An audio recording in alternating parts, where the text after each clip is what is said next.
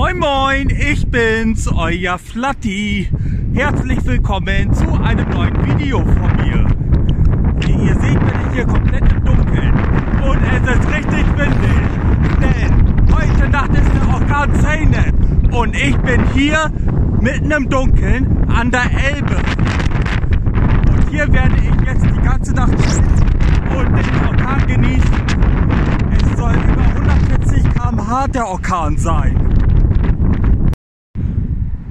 So, hier befinde ich mich. Das hier ist die Elbe mit ein paar Lichter. Das ist die andere Elbseite, wo die Lichter sind. Und hier ist es echt sehr windig. Und komplett dunkel. Und hier habe ich vor, die Nacht zu chillen.